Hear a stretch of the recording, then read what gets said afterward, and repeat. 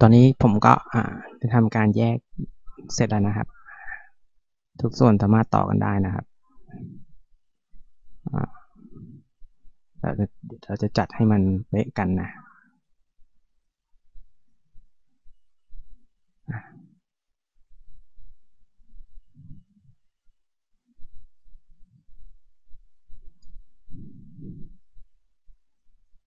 อันนี้ก็ในส่วนของการ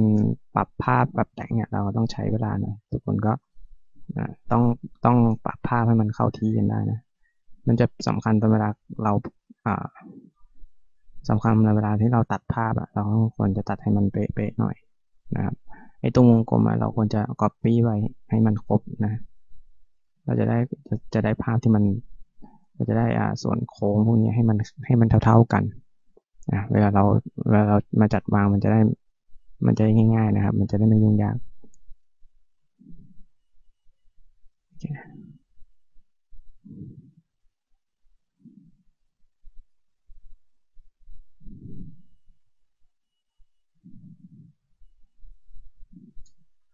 โอเค ตอนนี้มันก็จัดวางประมาณนี้นะ อาจจะยังไม่เป๊ะนะครับ เพราะว่าก็รีบวาดรีบทำนะครับ อะ เดี๋ยว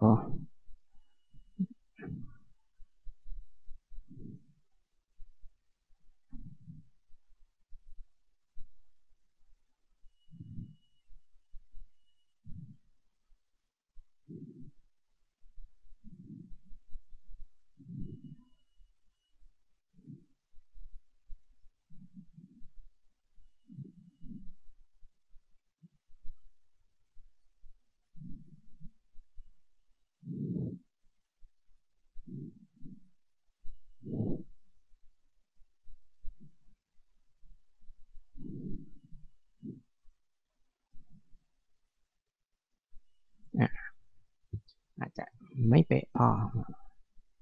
เวลาน้อยนะครับทำคงประมาณนี้นะครับผมถ้ารูปเราเราได้ประมาณนี้ละ ตอนนี้การตั้งตั้งชื่อของเราเราเราตั้งชื่อเวลาในไลบรารีมันก็จะเรียงหนึ่ง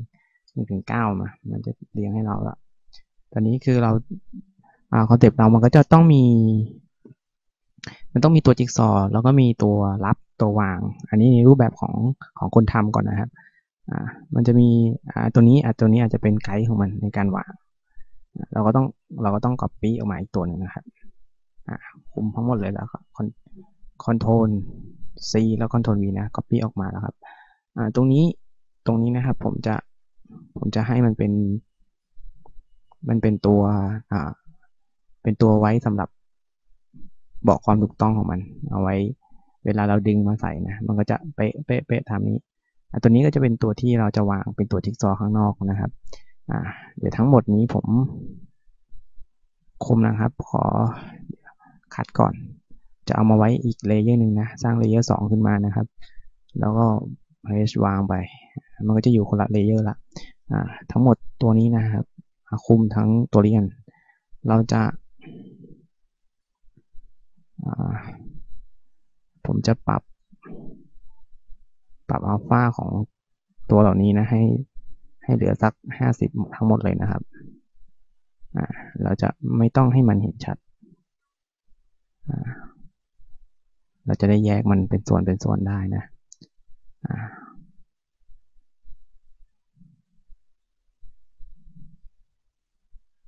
โอเค เดี๋ยวพอเราเวลาเราทำจริง ๆ เราก็อาจจะสร้างขอบมาให้สร้างกรอบมาให้หน่อย แล้วก็ตรงนี้เราก็อัลฟาเราก็ปรับให้มันเป็นศูนย์ไปหมดเลย เราก็ไม่ไม่เห็นเป็นรูปโครงร่างแบบนี้แล้วนะครับโอเค หลังจากนั้นนะครับเราก็มาตรงนี้ผมฟิกไว้ไม่ให้มันฟิกไว้เลยก็ได้นะเดี๋ยวตอนนี้เราต้องตั้งชื่อก่อนนะเรียงจากหนึ่งสองสามสี่ห้าหกตรงนี้นะครับ เรียงไปแนวขวางแบบนี้นะขวางแล้วก็วนมาเรียงเนี่ย เราจะตั้งตั้งชื่อ instance name ของมันเป็นในส่วนของตัวรับก็เป็น m mc ตัวเล็กนะครับ mc หนึ่งไล่ไปนะครับตัวที่สองตัวนี้ก็เป็น mc สองนะครับ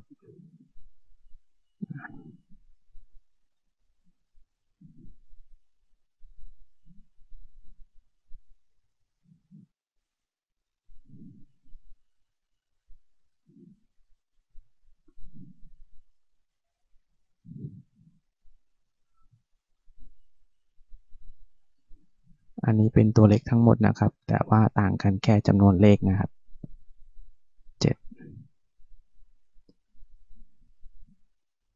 แปดทั้งหมดมี9ชิ้นนะครับ MC เล็กแล้วก็มาที่ตัวนี้นะครับ เราล็อกไว้ก่อนนะ เราไม่ยังไม่ได้ใช้มันตัวนี้นะครับเราก็มาตั้งชื่อ instant name ก่อนตัวนี้ตัวแรกนะครับ ให้สอดคล้องกันหน่อยแต่ว่าเราจะอาจจะเปลี่ยนรูปแบบให้มันเป็นตัวใหญ่นะครับ MC ตัว M ตัวใหญ่นะครับ MC 1มีความต่างกันนะ แล้วก็ตัวที่2นะครับตัวที่2 MC 2นะครับ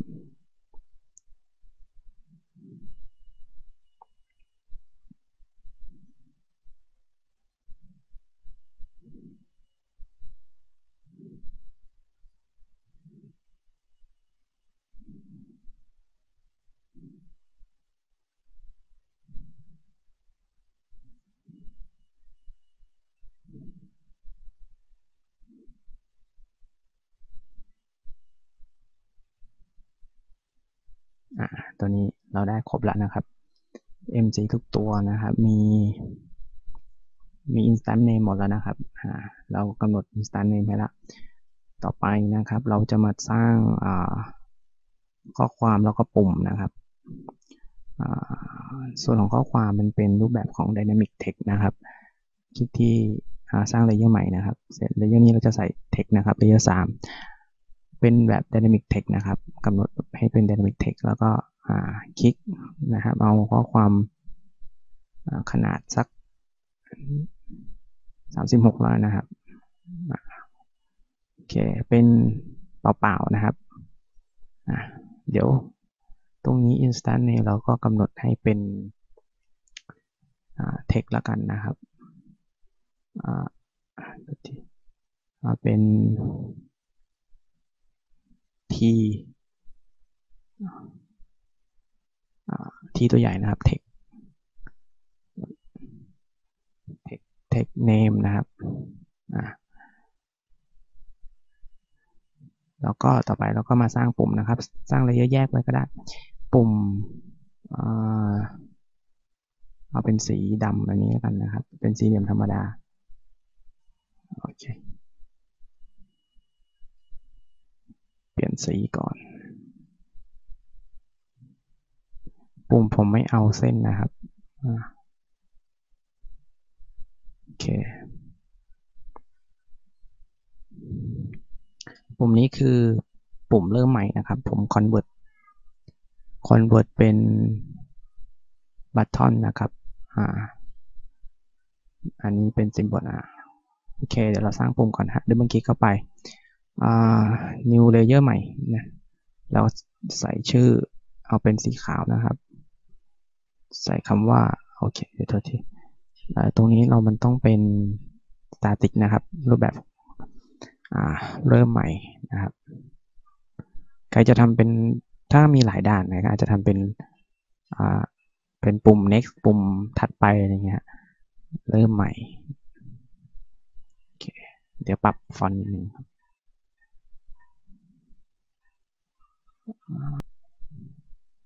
ยังไม่หายเราต้องใช้ฟอนต์ภาษาไทยแบบนึงนะครับใช้ฟอนต์นี้แล้วกัน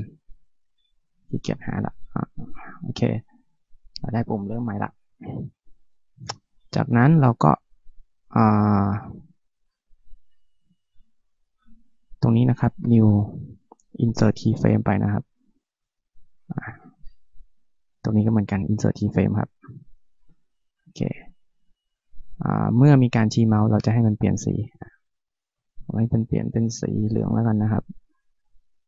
โอเค ประมาณนี้ก่อนอแต่ว่า อันดับแรกก็คือ เราควรจะมีตัวนี้เป็น เป็น layer ของสคริปต์นะครับสคริปต์เราจะเราจะทำเป็น 2 เราจะทำเป็น2 time frame เล่นนะฮะ เราจะขยับตัวทั้งหมดเนี่ยให้อยู่ใน time frame ที่ 2 นะครับ time frame แรกก็จะเป็นเวลา